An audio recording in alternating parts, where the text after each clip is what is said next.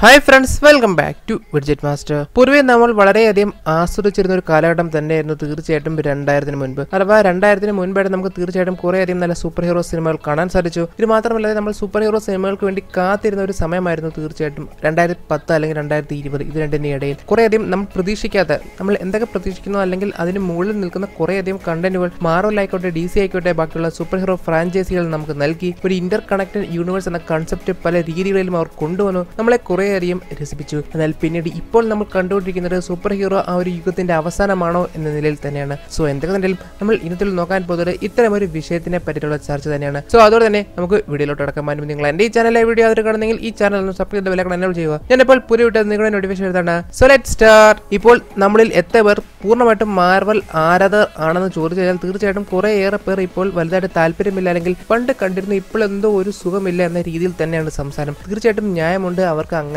സംസാരിക്കാൻ. കാരണം അവർക്കെല്ലാം അവരുടേതായിട്ടുള്ള ആസ്വാദന രീതിയുണ്ട്. അത് അവർക്ക് ഫോളോ ചെയ്യുകയും ചെയ്യാം. അതിൽ തീർച്ചയായിട്ടും വളരെ നല്ല മാറ്റം തന്നെയാണ് ഇത് സൂപ്പർ ഹീറോ ഫ്രാഞ്ചൈസി അല്ലെങ്കിൽ സൂപ്പർ ഹീറോ സിനിമകൾക്ക് കൊണ്ടുവന്നിട്ടുള്ളത്. മുൻപ് കൃത്യമായിട്ട് പറഞ്ഞു കഴിഞ്ഞാൽ എൻ ഗെയിമിന് മുൻപ് വരെ മാർവൽ സിനിമാറ്റിക് യൂണിവേഴ്സ് എന്ന് പറയുമ്പോൾ നമുക്ക് നല്ലൊരു പ്രതീക്ഷയായിരുന്നു. കാരണം ഏതൊരു സിനിമ തിയേറ്ററിൽ ഇറങ്ങിക്കഴിഞ്ഞാൽ നമുക്ക് നല്ല പ്രതീക്ഷയുണ്ടായിരുന്നു. നിരാശപ്പെടുത്തില്ല എന്നൊരു തോന്നൽ നമ്മുടെ മനസ്സിലുണ്ട്. എന്നാൽ അതേസമയം ഇപ്പോൾ ഒരു സിനിമ ഇറങ്ങുന്ന അവസരത്തിൽ പൂർണമായിട്ടും നല്ലതായിരിക്കുമോ എന്ന് നമുക്ക് ഒരു ഉറപ്പുമില്ല. കൊള്ളാമെങ്കിൽ കൊള്ളാം എന്നൊരു കൺസെപ്റ്റ് അല്ലെങ്കിൽ എന്നൊരു രീതിയിൽ തന്നെയാണ് ആരാധകർ ഇപ്പോൾ സിനിമയെ കാണുന്നത് എന്തിന് ഇനി അടുത്ത് വരാൻ പോകുന്ന guardians of galaxy volume three പോലും ആ ഒരു രീതിയിൽ തന്നെയാണ് ആരാധകർ തീർച്ചയായിട്ടും പ്രതീക്ഷിക്കുന്നത്. നല്ലതാണെങ്കിൽ കാണാം. അല്ലാതെ വലിയൊരു എക്സ്പെക്ടേഷൻ ഒരു സിനിമയ്ക്കും പ്രത്യേകിച്ച് മാർവലിന് ഇപ്പോൾ അവർ നൽകുന്നതേ ഇല്ല. അതേപോലെ തന്നെയാണ് ഡി സിയുടെ കാര്യവും. ഡി സിക്ക് മുൻപേ തന്നെ വലിയൊരു അടിത്തറ പ്രത്യേകിച്ച് സിനിമാറ്റിക് യൂണിവേഴ്സിൽ വലിയൊരു അടിത്തറ ഇല്ലാതിരുന്നു എങ്കിൽ പോലും ഇപ്പോൾ അത് ഏറെക്കുറെ ഇടിഞ്ഞിടിഞ്ഞ് ഏറെക്കുറെ ഇല്ലാതായ ഒരു അവസ്ഥയിൽ തന്നെയാണ് ഡി സി ഉള്ളത്. എന്തിന് ഡി സിയുടെ അവസാനമായിട്ട് പുറത്തിറങ്ങിയ ഷസം ഫ്യൂരി ഓഫ് ഗോഡ് അവരുടെ എക്കാലത്തെയും ഏറ്റവും ലോവസ്റ്റ് കളക്ഷൻ നേടിയ ഒരു സിനിമയായിട്ട് തന്നെ മാറിയിട്ടുണ്ട്. എന്തിന്? ഇനി അങ്ങോട്ട് വരാനിരിക്കുന്ന സിനിമകൾക്ക് പോലും അധികം ആരാധകർക്ക് പ്രതീക്ഷയേ ഇല്ല മറ്റൊരു പ്രധാനപ്പെട്ട കാരണം അവർ അല്ലെങ്കിൽ അവർ അവരുടെ സിനിമാറ്റിക് യൂണിവേഴ്സിനെ റീബൂട്ട് ചെയ്യാൻ പോകുന്നു എന്നുള്ളൊരു മറ്റൊരു കാരണം. ഉറപ്പായിട്ടും ആരാധകർ തന്നെ വിചാരിക്കും ശരിയാണ് അവസാനിക്കാൻ പോകുന്നു. സോ അതോടെ ഞാൻ എന്തിനു കാണുന്നു? കണ്ടാലും കണ്ടില്ലെങ്കിലും പ്രത്യേകിച്ച് ഒരു മാറ്റവും എനിക്ക് ആ ഒരു യൂണിവേഴ്സ് കാണുമ്പോൾ ഇനി ഉണ്ടാകുന്നില്ല. സോ അതോടെ തന്നെ എല്ലാവരും പുതിയൊരു യൂണിവേഴ്സിന് വേണ്ടി നോക്കിയിരിക്കുന്നു. പ്രതീക്ഷയുണ്ടോ എന്ന് ചോദിച്ചു കഴിഞ്ഞാൽ തീർച്ചയായിട്ടും നമുക്ക് ഇപ്പോൾ ഒന്നും തന്നെ പറയാൻ സാധിക്കില്ല. എന്തെങ്കിലും ഹൈപ്പ് ക്രിയേറ്റ് ചെയ്താൽ മാത്രം പ്രതീക്ഷയ്ക്ക് വകവയ്ക്കാം അതാണ് ഡി സിയുടെ അവസ്ഥ. തീർച്ചയായിട്ടും ഡി സിയും മാർവലും ഉള്ള ഈ ഒരു സൂപ്പർ ഹീറോ ഫ്രാഞ്ചൈസിയിലും ബാക്കിയുള്ള സിനിമാറ്റിക് യൂണിവേഴ്സുകൾക്ക് വലിയ പ്രാധാന്യം ഇല്ല എന്ന് തന്നെയാണ് വിശ്വസിക്കുന്നത്.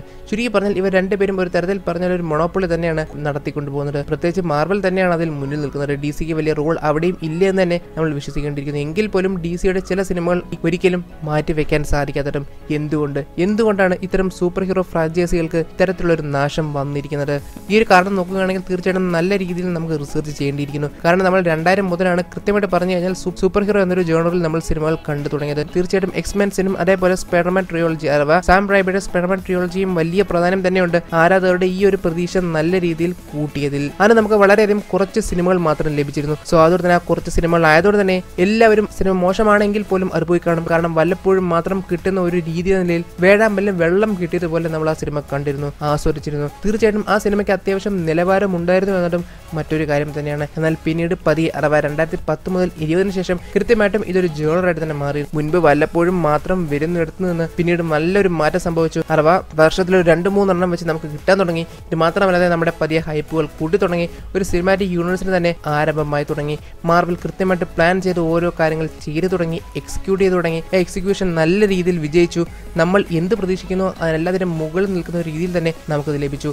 എൻ ഗെയിമിന് വേണ്ടിയിട്ടുള്ള ഒരു ഹൈപ്പ് പതിയെ പതിയെ അവർ ക്രിയേറ്റ് ചെയ്തുകൊണ്ടുവന്ന ഒടുവിൽ എൻ ഗെയിമിലേക്ക് എത്തിക്കഴിഞ്ഞപ്പോൾ തീർച്ചയായിട്ടും നമ്മൾ എന്ത് പ്രതീക്ഷിച്ചു അല്ലെങ്കിൽ നമ്മൾ ഇതുവരെ കാണാത്ത രീതിയിലുള്ള ഒരു മഹാവിസ്ഫോടനം തന്നെയാണ് നമുക്ക് ഒരു സ്ക്രീനിലൂടെ ലഭിച്ചിരുന്നത്. ഒരിക്കലും ആരാധകർ ഇത്രത്തോളം പ്രതീക്ഷിച്ചിരുന്നില്ല. ഇൻഫിനിറ്റി വാറും എൻ ഗെയിമും അത്രമാത്രം ഒരു മാറ്റം തന്നെയാണ് സിനിമകൾക്കിടയിൽ കൊണ്ടുവന്നിരുന്നത്. പിന്നീട് മാർവലിലെ ഏതൊരു സിനിമ വന്നതിന് ശേഷം ആരാധകർ ഈ ഒരു സിനിമയുമായിട്ട് അഥവാ എൻ ഗെയിം എന്നൊരു സിനിമയുമായിട്ട് തന്നെയാണ് അതിനെ കമ്പയർ ചെയ്തിരുന്നത്. മുൻപ് അവരുടെ ബെഞ്ച് മാർക്ക് എന്നത് അവഞ്ചേഴ്സോ അല്ലെങ്കിൽ സിവിൽ വാറോ പോലുള്ള സിനിമകളായിരുന്നു. എന്നാൽ പിന്നീട് ഓരോ സിനിമകൾ വരുമ്പോഴും ബെഞ്ച് മാർക്ക് എന്നത് എൻ ഗെയിം ആയിട്ട് മാറുന്നു. ഓൾറെഡി നമുക്കറിയുന്ന കാര്യമാണ് എൻ ഗെയിം എത്രമാത്രം വലിയൊരു സിനിമയാണ് എന്ന്. തീർച്ചയായിട്ടും ആ ഒരു സിനിമയുടെ ലെവലിലേക്ക് മറ്റൊരു സിനിമയ്ക്ക് വരാൻ സാധിക്കില്ല. വരണമെങ്കിൽ തന്നെ അതിന് നല്ല രീതിയിലുള്ള പ്രിപ്പറേഷൻ വേണം. ഓരോ സിനിമകൾ നമ്മൾ എൻ ഗെയിം ലെവലിലേക്ക് പ്രതീക്ഷിച്ചു കഴിഞ്ഞാൽ നിരാശപ്പെടേണ്ടി വരും. എന്നാൽ ഇത് മാത്രമല്ല മാർവലെ തകർച്ചയ്ക്ക് കാരണം അവർ ക്വാളിറ്റിക്ക് പ്രാധാന്യം കുറച്ചുകൊണ്ട് ക്വാണ്ടിറ്റിക്ക് പ്രാധാന്യം കൂട്ടി. തീർച്ചയായിട്ടും ഇത് വലിയൊരു അടി തന്നെയാണ്. ഞാൻ മുൻപേ പറഞ്ഞതുപോലെ വർഷത്തിൽ ഒന്നോ രണ്ടോ സിനിമ ആദ്യം നമുക്ക് ഒരു സിനിമകൾ മാത്രം വരുന്നിടത്ത് പിന്നീട് വർഷത്തിൽ മൂന്നോ നാലോ സിനിമകളായി പിന്നീട് വർഷത്തിൽ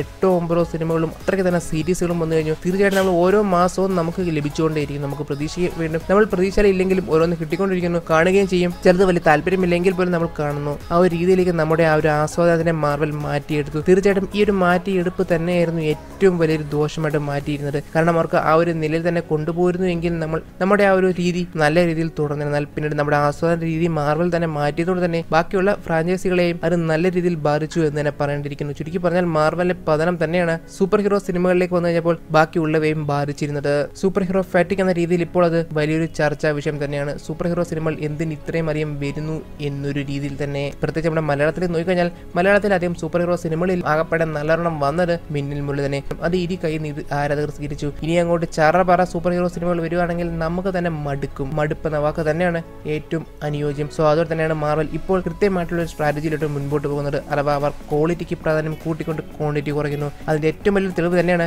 ഈ വർഷം ഇതുവരെ ഒരു സീരീസ് പോലും നമുക്ക് കാണാൻ സാധിച്ചിട്ടില്ല. സിനിമ മാർവൽ മുൻപേ തന്നെ പ്ലാൻ ചെയ്തതുമാണ്. ഇനി അങ്ങോട്ട് രണ്ട് സിനിമകൾ മാത്രം നമുക്ക് ലഭിക്കുകയും ചെയ്യും. സോ അതുകൊണ്ട് ഈ ഒരു സ്ട്രാറ്റജിയുമായിട്ട് അവർ മുൻപോട്ട് പോവുകയാണെങ്കിൽ തീർച്ചയായിട്ടും അവർക്ക് നല്ല രീതിയിൽ പ്രയോജനം ഉണ്ടാകും എന്ന് പ്രതീക്ഷിക്കാം. കാരണം അവരുടെ ഫ്യൂച്ചർ എന്നത് ഒരുപാട് അധികം നീണ്ടു നിൽക്കേണ്ടത് തന്നെയാണ്. പെട്ടെന്നൊരു ദിവസം അവസാനിക്കേണ്ടതല്ല. പെട്ടെന്നൊരു ദിവസം അങ്ങനെ അവസാനിക്കുകയുമില്ല. കാരണം അത്രമാത്രം വലിയൊരു സ്റ്റോറിയിൽ തന്നെ അല്ലെങ്കിൽ അത്രമാത്രം വലിയൊരു ബിൽഡപ്പ് തന്നെ ഇനി അവർക്ക് കൊണ്ടുവരേണ്ടതുണ്ട് കൊണ്ടുവന്നിട്ടുമുണ്ട്. തീർച്ചയായിട്ടും അത് തുടരേണ്ടത് അവരിലുപരി സിനിമകളെ ആരാധിക്കുന്ന അല്ലെങ്കിൽ സൂപ്പർ ഹീറോകളെ സ്നേഹിക്കുന്ന ബാക്കിയുള്ളവർക്കും വേണ്ടിയുള്ളതാണ്. സോ എന്തൊക്കെ തന്നെയാലും സോ കാത്തിരിക്കാം. നല്ലൊരു നാളേക്ക് സോ അതിന് വീഡിയോ ഇഷ്ടപ്പെട്ടാൽ തീർച്ചയായും നിങ്ങൾ ലൈക്ക് ചെയ്യാറും നിങ്ങളുടെ അഭിപ്രായ നിർദ്ദേശങ്ങളും ഇവിടെ കമന്റ് ബോക്സിൽ ഏർപ്പെടുത്താം നിങ്ങൾക്ക് നിങ്ങളുടെ ഫാൻ പ്ലോട്ട്സും ഇവിടെ കമന്റ് ബോക്സിൽ ഏർപ്പെടുത്താം ഇനി വരുന്ന എപ്പിസോഡിൽ നമുക്ക് ഡീറ്റെയിൽ ക്ലിയർ ആയിട്ടും ബ്രേക്ക് ഡൗൺ ചെയ്യാൻ പ്രതീക്ഷയോടെ എന്റെ വരമൽ യു വാച്ചിങ് വിഡ്ജറ്റ് മാസ്റ്റർ